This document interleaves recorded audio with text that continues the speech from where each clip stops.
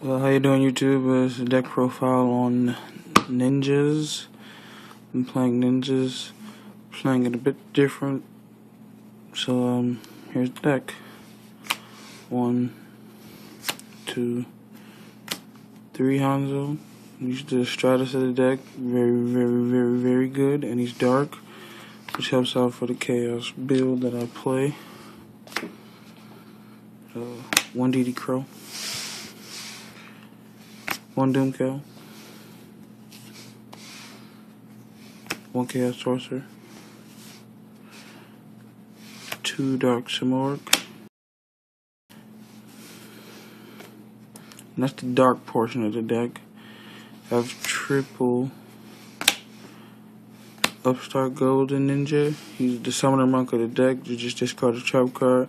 Special summon a ninja and face up or face down defense, which is pretty good. You could summon Hanzo, get the, another ninja to the hand, and just keep the hand control.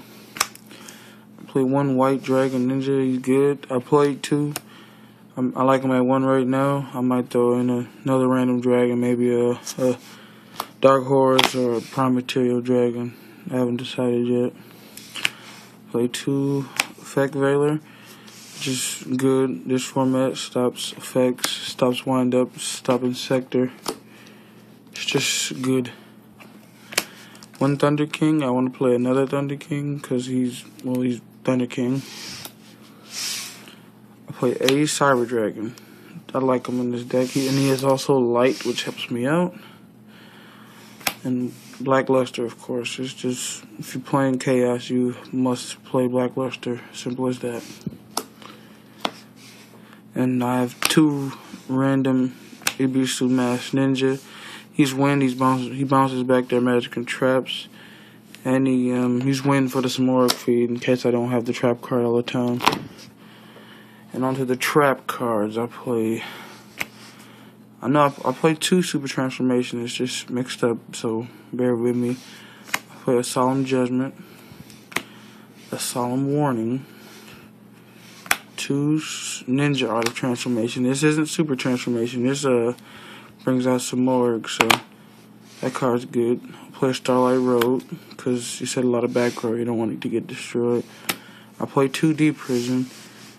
Oh, the other one should be up. I play uh, Mirror Force. Here's the other D Prison. Uh, Torrential Tribute. And there's other super transformation. It's just uh, send one of my monsters and one of my opponent's monsters to the grave, special summon a dragon, dinosaur, sea serpent. I use that for white dragon, so it works out great. Get rid of one of your monsters. And the process of summoning a 27 beef stick that doesn't you to destroy my back row, which is amazing in this deck. I have double duality. I like it at two. I wouldn't play three. Also, wouldn't play one, so yeah duality. Monster Reborn, staple. Return Alive, because I like to recycle Hanzo a lot. And it's also funny when Black Luster's in the grave and I can just worry Return Alive him. I think that's pretty nice. Play Pot Avarice, Book of Moon, Reinforcement of the Army. One MST, I might bump that up to two. Heavy Storm, and a Dark Hole. Um, I don't have an extra deck. I don't have a side deck, I should say.